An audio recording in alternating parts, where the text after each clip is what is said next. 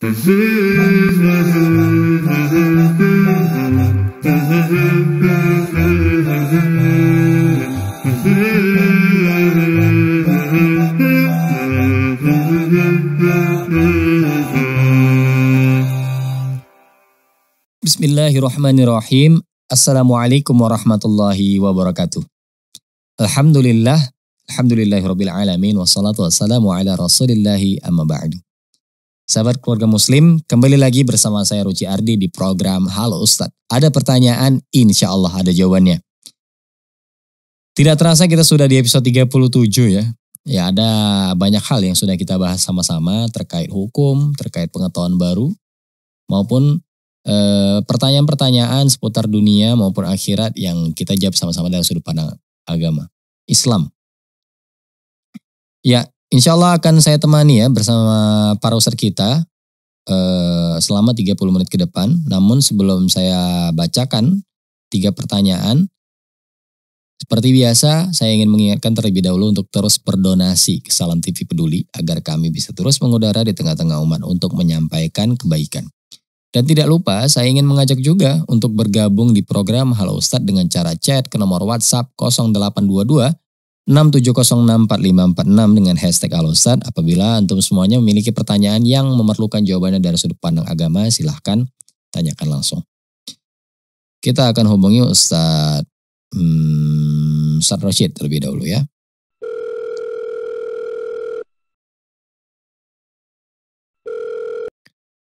Halo Ustaz, Assalamualaikum. Waalaikumsalam warahmatullahi wabarakatuh. Ya, Ustaz, bagaimana niat berbuka puasa yang benar? Di tengah-tengah masyarakat ada beberapa niat yang berbeda. Mohon pencerahannya Ustaz. Jadi terkait dengan bagaimana eh, niat eh, berbuka, sebenarnya mungkin bahasanya bukan niat kali ya. Eh, doa mungkin yang tepat gitu. Karena kalau niat kan ya namanya niat itu di awal tadi kan niat puasa gitu kan. Itu kan terkait dengan niat. Oh bagaimana puasa? Kita kan mau berbuka. Ya bolehlah kalau mungkin dimaksudkan niat itu adalah ke kehendak. Kalau artinya kehendak al-qasdu bisalah. Tapi kan orang biasanya bahasanya bukan niat sih gitu kan. Mungkin biasanya lebih dekatnya itu doa. Nah kan gitu ya, doa. Sama seperti sholat. Kan gak ada kita niat mau keluar sholat. Kan gak ada. Dengan kita salam itu saja sudah membatalkan sholat. Nah, kan begitu.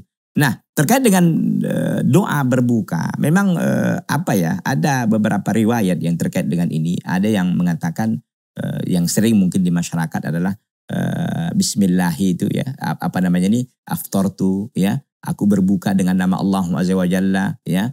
Dan seterusnya. Tapi sebenarnya ini adalah apa namanya ini hadis-hadis yang daif ya, hadis-hadis yang lemah ya, hadis-hadis yang lemah. Tapi ada hadis yang sahih sebagaimana dikatakan oleh para ulama adalah dhahabad dhama'u wabtalatil uruku wa thabatul ajr insyaallah. Dhahabad dhama'u telah hilanglah yang namanya dahaga. Wabtalatil uruku dan sudah eh, apa namanya basahlah kembali ya urat-urat ya karena sudah minum. Wa thabatul ajru insyaallah. Wa thabatal ajru insyaallah dan pahala insyaallah taala sudah menjadi tetap, sudah tetap dan sudah dapat. Nah, ini dibaca doa seperti ini kapan? Itu dibaca ketika kita sudah minum dulu. Atau sudah makan korma dulu. Atau sudah makan rutop dulu. Jadi caranya adalah ketika sudah tiba waktu untuk berbuka. Maka kita ambilkan rutop ataupun korma. Kita baca bismillah lalu kita makan. Kan sunahnya kita berbuka dengan yang manis-manis kan gitu. Dengan korma kah, dengan rutop kah ya. Lalu membaca bismillah kita ambil, bismillah kita ucapkan. Lalu kita apa namanya ini kita makan ya beberapa butir ya baru kita membaca doa tadi ya baru kita membaca doa tadi ya jadi bukan uh, bukannya dulu apa namanya ini kita baca dhahabat dhamma uruku wa thabatul ajur insyaallah lalu kita minum enggak? Sebelumnya kita ya, yang kita baca apa? Kita baca dulu bismillah dulu. Bismillah kita makan atau kita uh, minum gitu kan? Lalu membaca doa tadi itu ya. Uh, apa namanya ini?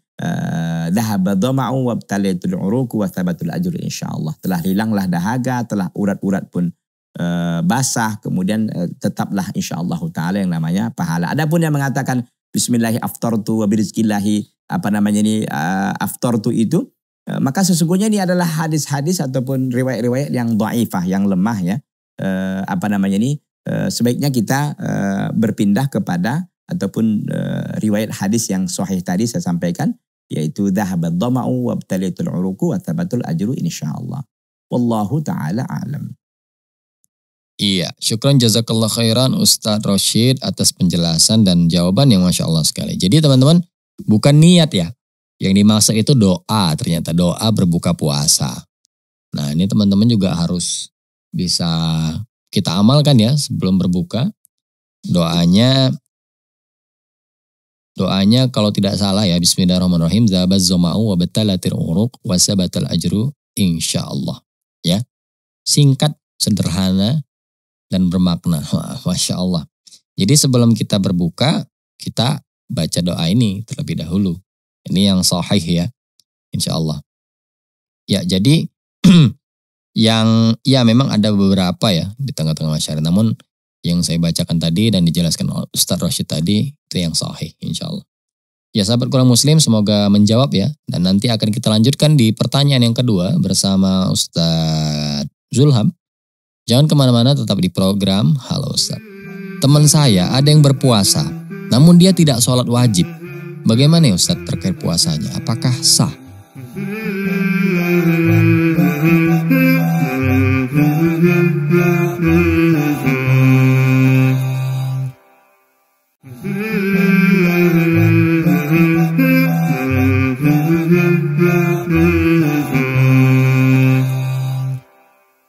Sahabat keluarga muslim, kembali lagi di program Halo Ustadz.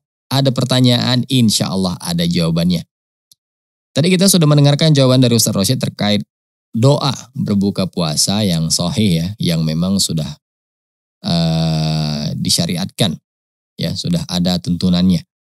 Nah ini di pertanyaan kedua, nah ini agak unik pertanyaannya nih, karena ya unik lah, nanti akan saya bacakan. Namun sebelum saya lanjutkan ke pertanyaan, seperti biasa, ingin mengingatkan terlebih dahulu untuk terus berdonasi ke Salam TV Peduli, agar kami bisa terus mengudara di tengah-tengah umat untuk menyampaikan kebaikan. Dan tidak lupa, saya ingin mengajak juga untuk bergabung di program Halo Ustaz dengan cara chat ke nomor WhatsApp 0822 6706456 dengan hashtag Halo Ustaz. Ya kita akan hubungi Ustaz Zulham ya.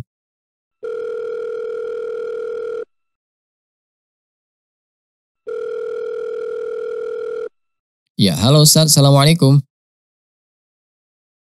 Waalaikumsalam warahmatullahi wabarakatuh. Ya, Ustaz.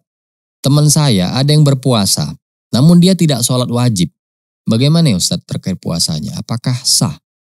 Kaum muslimin dan muslimat, rahimani wa rahimakumullah. Yang mewajibkan sholat, dia jugalah yang mewajibkan puasa. Artinya puasa dan sholat itu sama-sama wajib. Allah yang mewajibkannya kepada kita. Sholat dan puasa sama-sama rukun Islam.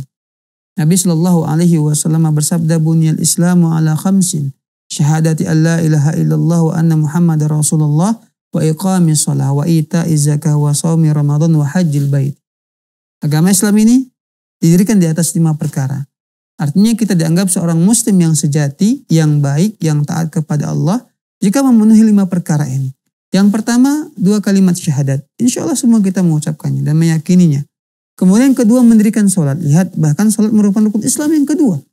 Yang ketiga, membayar zakat. Yang keempat, puasa Ramadan. Yang kelima, naik haji bagi yang mampu. Maka puasa dan sholat sama-sama wajib, termasuk rukun Islam dalam agama kita. Maka sangat disayangkan banyak sekali terjadi di antara kaum muslimin. Dia semangat puasa, Alhamdulillah. Itu sebuah kebaikan. Dan insya Allah sebuah ya pertanda baik dari Allah Subhanahu Wa Taala untuk dia. Tapi sangat disayangkan dia tidak mau sholat, dia malas mengerjakannya. Maka ya muslim seperti ini hendaklah dia bertobat kepada Allah Subhanahu Wa Taala. Kalau dia ingin mendapatkan pahala yang sempurna dari puasanya, maka hendaklah dia menjaga sholatnya. Jadikanlah Ramadan ini, puasa ini sebagai cara dia memperbaiki dirinya. Terutama menjaga sholatnya. Nah kalau seandainya ada yang berpuasa kemudian tidak sholat apakah sah puasanya? Puasanya tetap sah. Karena ya ibadah puasa dengan sholat itu berbeda. Yang puasa hukumnya wajib, sholat juga wajib. Nah apabila seseorang itu berpuasa dengan niat puasa Ramadan kemudian dia tidak makan dan minum, tidak berhubungan suami istri, dari terbit fajar, terbit fajar sampai matahari terbenam yaitu subuh dan maghrib, maka pelaksanaan ibadah puasanya itu itu sah. itu sah. Hanya saja adapun pahalanya ataupun ganjaran dari Allah belum tentu dia mendapatkan yang sempurna. Karena puasa kita itu nilainya tergantung dengan perbuatan kita. Tergantung dengan perbuatan kita. Oleh sebab itu Nabi Shallallahu Alaihi Wasallam mengatakan, "Rubba shaimin laisa lahu min siyami illa al-ju'u wal atash." Betapa banyak orang yang berpuasa hanya mendapatkan lapar dan haus saja. Man lam yada' qawla zuri wal amala bihi falaysa lillahi hajatun fi an yada'a ta'amahu wa syarabahu. Siapa yang dia berpuasa tapi tetap berbohong atau berbuat yang bohong, yang dusta, maka Allah Subhanahu wa taala akan mau membutuhkan, tidak membutuhkan dia meninggalkan makan dan minumnya. Enggak Allah butuhkan puasanya itu. Karena ruh daripada sholat, daripada puasa adalah kita mengerjakan ketaatan kepada Allah yang wajib dan juga meninggalkan maksiat. Dan termasuk maksiat besar, dosa besar dalam agama kita ialah meninggalkan sholat dengan sengaja. Maka orang yang meninggalkan sholat dengan sengaja kemudian dia berpuasa, puasa tetap sah, tapi nilai pahala puasanya menjadi berkurang. Bahkan dikhawatirkan menjadi habis, ya, karena dia meninggalkan sholatnya.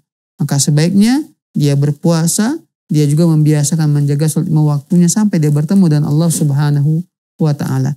Nah bagaimana kalau seandainya dia mengatakan, oh kalau begitu untuk apa aku berpuasa? Toh juga aku nggak sholat, ya nilai pahala puasaku berkurang. Nah kalau seandainya dia tidak berpuasa, tidak juga sholat, maka artinya dua dosa besar itu berkumpul sama dia. Lebih besar lagi dosanya.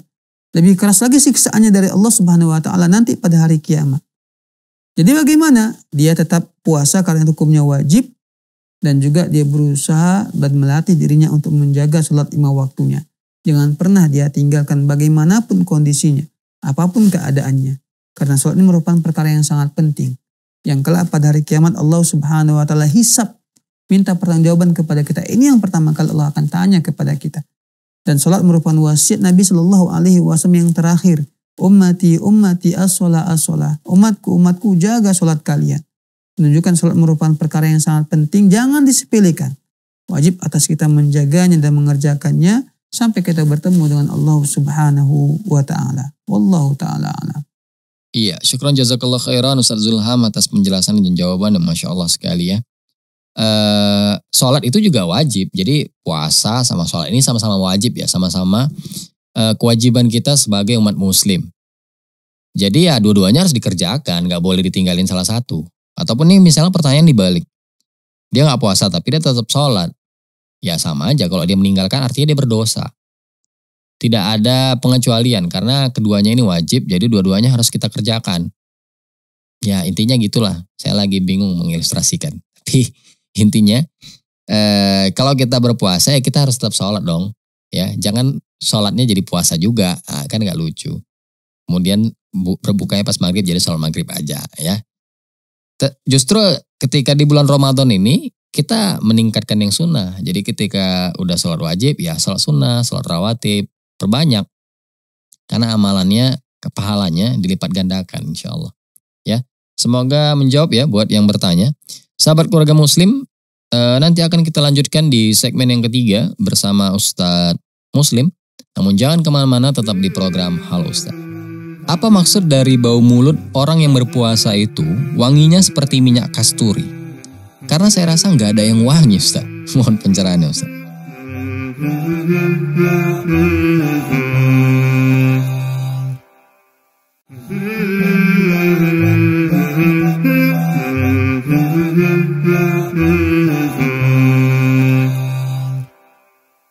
Sahabat keluarga muslim, kembali lagi di program Halo Ustaz. Ada pertanyaan, insya Allah ada jawabannya. Tadi kita sudah mendengarkan jawaban dari kedua Ustadz kita, yaitu Ustaz Roshid dan Ustaz Zulham terkait eh, niat berbuka puasa, kemudian juga eh, teman yang berpuasa namun dia nggak sholat. Pak Afan tadi maksudnya bukan niat, tadi sudah diluruskan oleh Ustaz Roshid, bukan niat berbuka puasa namun doa. Doa berbuka puasa ya. Nah ini akan kita lanjutkan di pertanyaan yang ketiga. Namun sebelum saya hubungi Ustaz Muslim, saya ingin mengingatkan terlebih dahulu untuk terus berdonasi ya ke Salam TV Peduli agar kami bisa terus mengudara di tengah-tengah umat untuk menyampaikan kebaikan. Dan tidak lupa saya ingin mengajak juga untuk bergabung di program Halo Ustadz dengan cara chat ke nomor WhatsApp 0822 6706546 dengan hashtag Halo Ustadz. Kita akan hubungi Ustadz Muslim.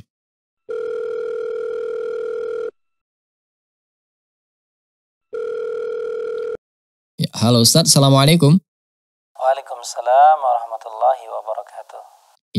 Ustadz, apa maksud dari bau mulut orang yang berpuasa itu wanginya seperti minyak kasturi? Karena saya rasa nggak ada yang wangi Ustadz. Mohon pencerahannya Ustadz. Ya mengenai tentang mulut bagi orang yang berpuasa, maka kata Rasulullah khulufu famis saim atyabu min rihil misk. Maka dikatakan dalam hadis Rasulullah bahwasanya mulut orang yang berpuasa. Aromanya itu di sisi Allah indallah. Atyabu min rihil misk. Lebih baik, lebih wangi dari minyak kasturi. Kalau kita katakan minyak kasturi itu wangi. Akan tetapi di manakah wanginya? Kalau kita mendapatkan justru sebaliknya bagi orang yang berpuasa, mulutnya itu tidak wangi sedikit pun, kan tetapi bau.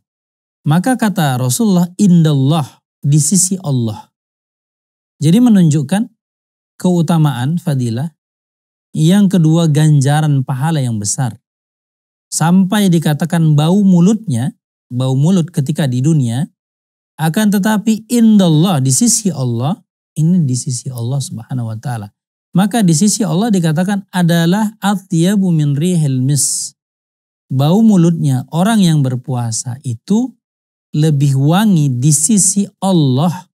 Maka Allah menekankan adalah di sisinya Allah menunjukkan adanya keutamaan. Bau mulut yang di dunia ketika kita berpuasa Allah menghiburnya dikatakan di sisiku kata Allah maka lebih utama lebih baik, lebih wangi dari minyak kasturi. Jadi bagi kita yang melakukan ibadah puasa, bau mulut yang kita peroleh di dunia ini akan menghasilkan lebih wangi nanti di sisi Allah pada hari kiamat ganjaran pahala. Allah ta'ala. Iya, syukuran jazakallah khairan Ustadz Muslim atas penjelasan dan jawaban yang Masya Allah sekali ya. Jadi teman-teman, ya kalau kita sebagai manusia, eh, sesama manusia gitu ya, memandang teman kita atau teman kita yang berpuasa. Ya memang, ya jujur-jujur aja kan namanya nggak ada nggak ada something yang masuk selama lebih kurang 10 jam ya, 10 sampai 12 jam berpuasa. Ya wajar, nggak wangi gitu. Ya, ja- tapi ini bunyi sebuah hadis ya. Nah wanginya eh, seperti minyak kasturi itu itu bukan di sisi kita, bukan di sisi manusia, tapi di sisi Allah Subhanahu Wa Taala.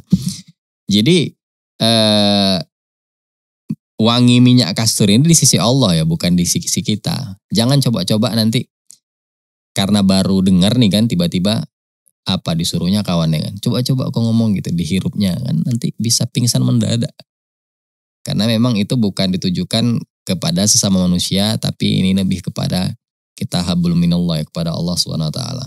Ya mudah-mudahan tercerahkan ya. ya. Siapa tahu ini memang udah mencoba mencium nafas dari temannya yang berpuasa ya jangan dicoba lagi ya. Jangan coba-coba. Atau kecermin aja coba. Mana tahu kan wangi.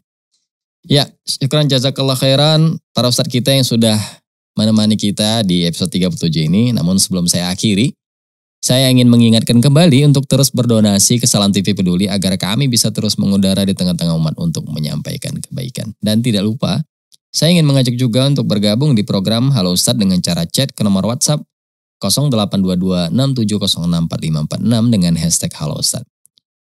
Apabila antum semuanya memiliki pertanyaan yang diperlukan jawabannya dari sudut pandang agama, silahkan tanyakan langsung ke nomor tadi ya. Ya akhirnya saya Ruciardi bersama seluruh kerabat kerja yang bertugas pamit undur diri. Kita tutup dengan doa kafaratul majelis. Subhanakallahumma wa bihamdika. Ashadu an ilaha ila anta astaghfiruka wa atubu ilaik. Assalamualaikum warahmatullahi wabarakatuh.